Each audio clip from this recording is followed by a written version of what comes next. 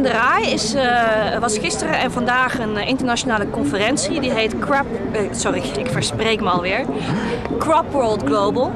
En dat is een internationale conferentie waar de pesticiden, zadenindustrie, eigenlijk alle grote bedrijven uit de landbouwindustrie bij elkaar komen om strategische informatie uit te wisselen en te netwerken over gewasbescherming, oftewel uh, landbouwgif spuiten, over plantenveredeling, over allerlei manieren van industriële landbouwbedrijven.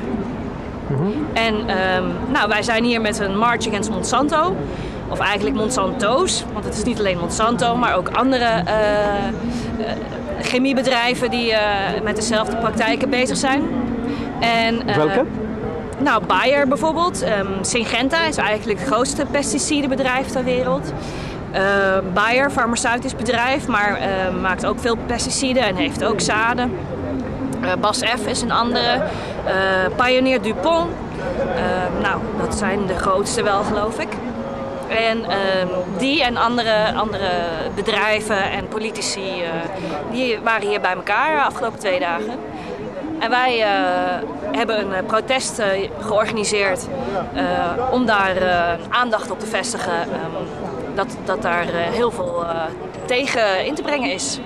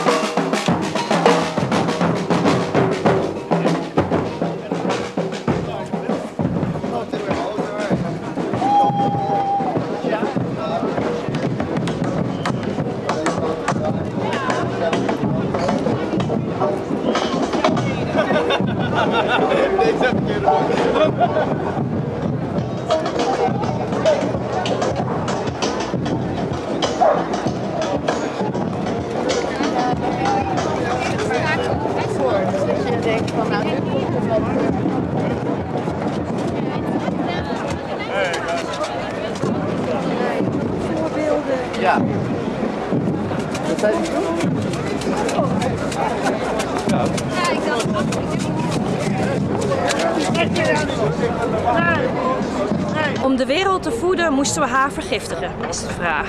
Haar slaat op de wereld. Um, de pesticiden- en gentech-industrie beweert dat we hun producten nodig hebben om meer voedsel te produceren.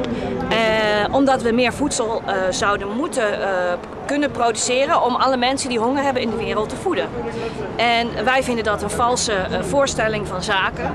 Er wordt genoeg voedsel geproduceerd, maar het is niet voor iedereen die honger heeft beschikbaar. Daar moet je op een andere manier voor gaan produceren met z'n allen.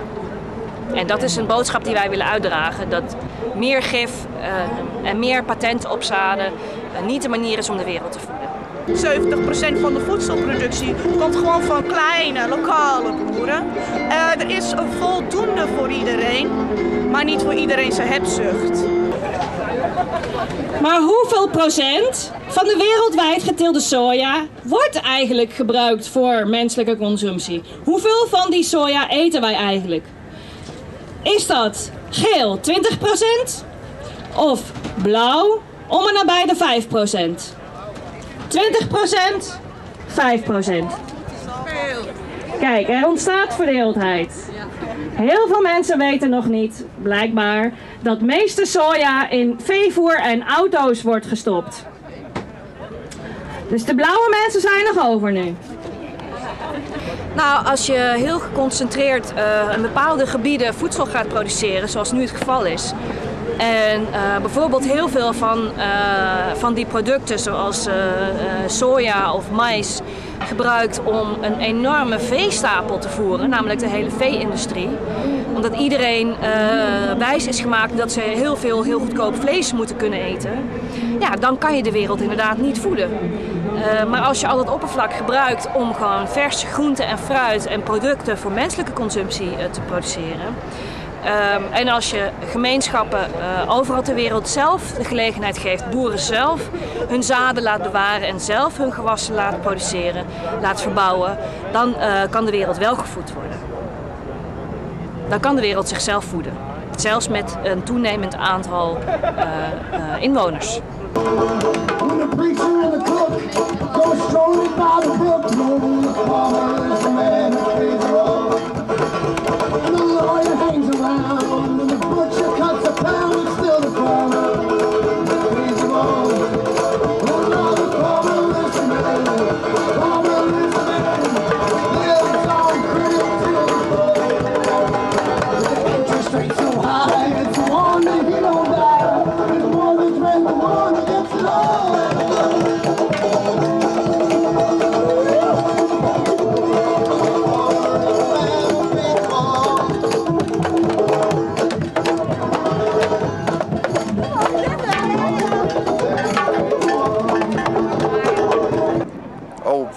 Wife is very involved in the anti-GMO movement back in the United States. People, it's awful. It's Why? Awful. Could you explain? People should know what they are eating. Uh-huh. And nobody has a right to change that. So, no, we're very much in support of the anti-GMO. Eén vraag gaat over labeling van GGO's. In Europa moeten gentech-ingrediënten op het etiket vermeld worden, in principe. In de VS is dat nog niet het geval. Maar een groeiende burgerbeweging eist daar het recht om te weten wat er in hun eten zit. En terecht. In welke Amerikaanse staat vindt volgende maand een referendum plaats over het labelen van GGO-ingrediënten? Is dat geel, Californië? Of is dat blauw, Washington? Waar vindt volgende maand een referendum over GGO-labeling plaats? California of Washington? Uh, nou, de demonstratie ging heel goed. Er waren een paar honderd mensen. Uh, we hebben eerst geluisterd naar wat speeches uh, over uh, de industrie, over welk handelsbeleid er internationaal is, wat ten gunste is van die, van die industrie en waar boeren de dupe van worden. En uiteindelijk de consumenten ook, want dat betekent dat wij niet meer genoeg gezond eten kunnen hebben straks. We gaan door, door, door tot de aarde op is. En dan zullen ze erachter komen dat je geld of goud niet kan eten. We moeten ophouden met die giftroep. Stop gif, stop Bayer, stop Dow, stop Basf, stop Gente, Syngenta en stop Monsanto. Uh, daar werd over gepraat en... Uh, toen zijn we, uh, er waren wat muzikanten die protestliederen lieten horen over Monsanto en uh, GGO's en allemaal dat soort dingen.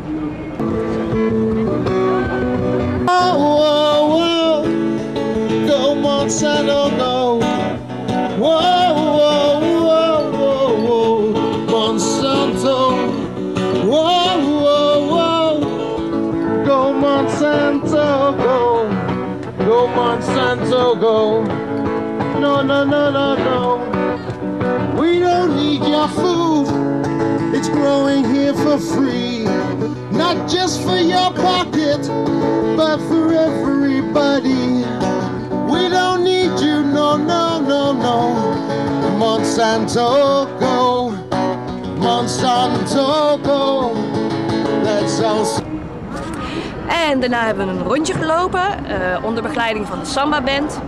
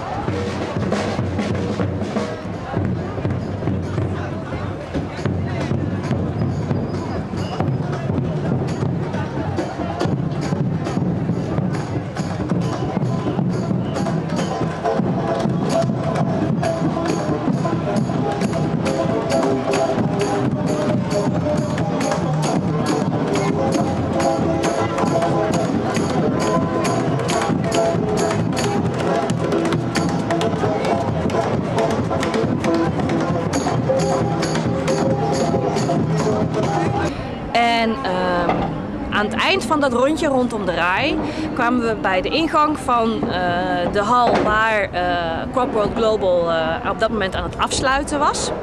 En ehm, daar hebben we flink lawaai gemaakt om goed van ons te laten horen. En dat hebben ze geweten, want ze hadden er last van, kregen we te horen. Het moment om nog even extra lawaai te maken met alle fluitjes, trommels en alles erop en eraan.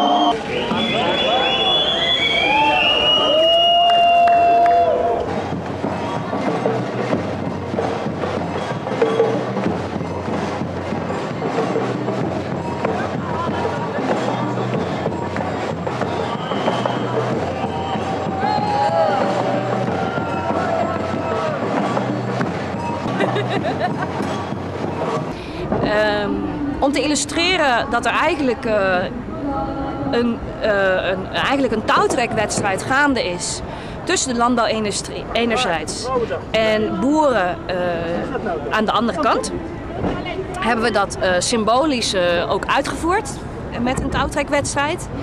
met die beide partijen ieder aan een kant. En ehm, de industrie gebruikt allerlei uh, valse trucjes, zoals het spuiten van gif, niet alleen op gewassen, maar ook op mensen. Uh, nou, dat, uh, dat, deden ze hier, lieten ze dat ook zien. Daar hadden die boeren last van, dus die dreigden die touwtrekwedstrijd te verliezen. maar na wat aanmoediging werden de mensen zich bewust ervan dat ze die boeren moesten gaan helpen en moesten gaan samenwerken. En ehm, dat hebben ze gedaan. En toen hebben uiteindelijk boeren samen met de rest van de wereld de industrie omvergeworpen. Als misgaat met boeren tegen de pesticide-industrie, misschien kunnen er één of twee mensen daar gaan helpen.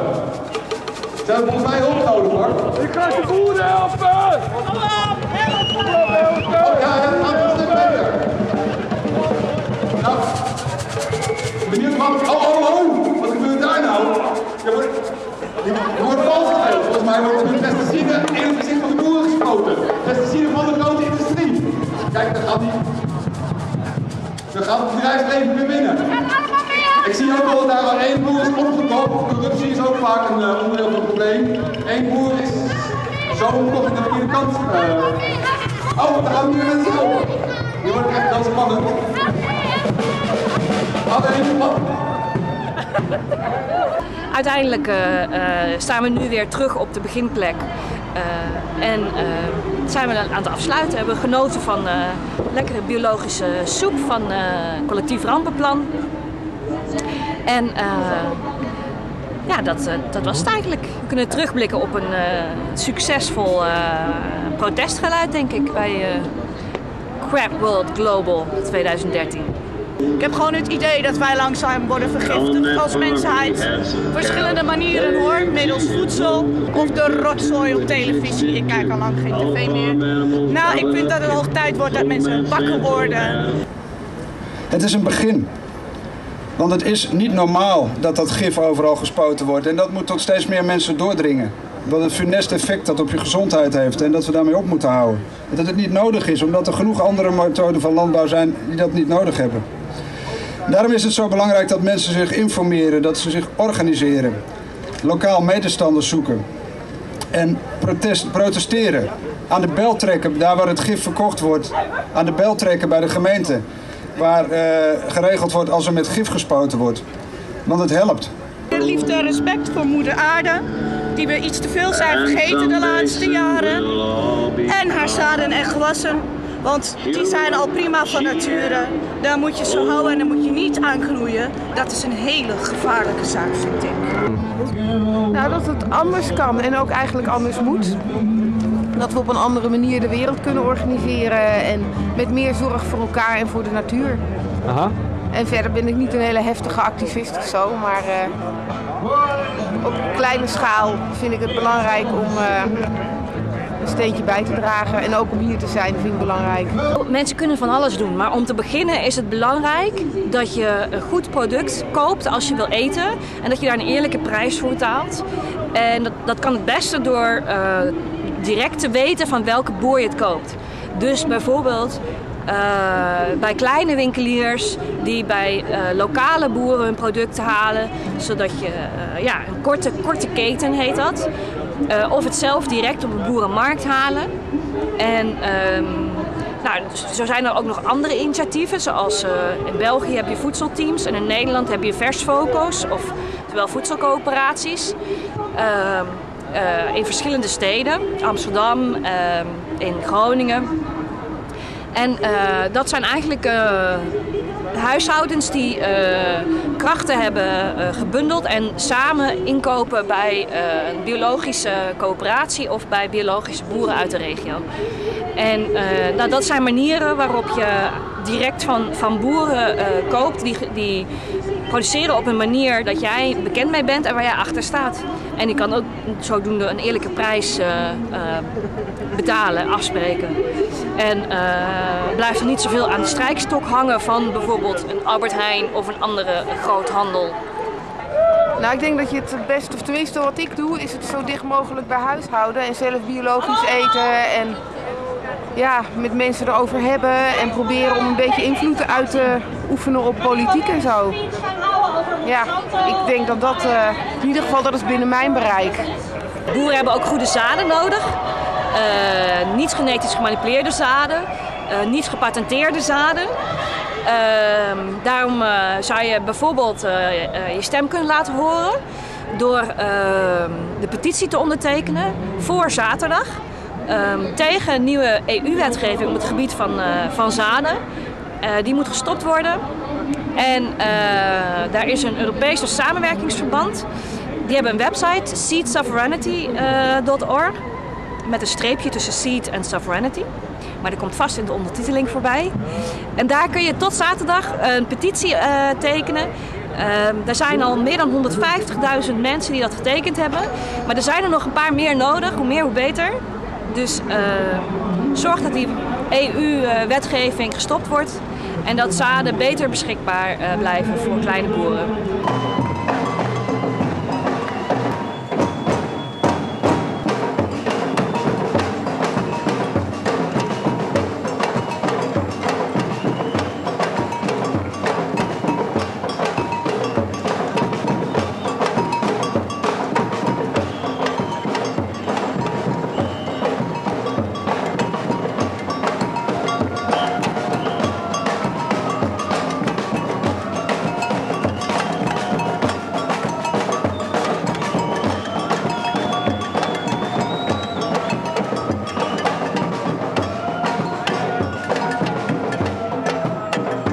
Dat dit uh, een protest was in de reeks van Marches Against Monsanto. En um, dat er nu al een wereldwijde March Against Monsanto voor 2014 is aangekondigd. En die wereldwijde actiedag is op 24 mei 2014. March Against Monsanto Everywhere. Dus uh, uh, zoek het op op Facebook. Maak vrienden met andere mensen die ermee bezig zijn. En ga samen aan de slag. Want hoe meer mensen dit soort protesten actief ondersteunen en daar meedoen, en, hoe beter. Dus March Against Monsanto, doe mee.